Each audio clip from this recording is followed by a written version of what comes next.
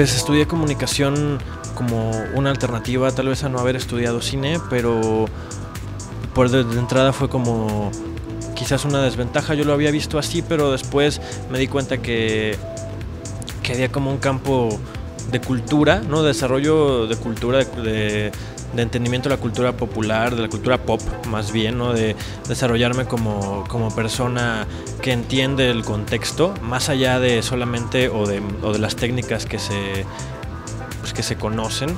Y pues en la UX porque creo que en el momento en el que entré era la mejor opción al nivel estatal.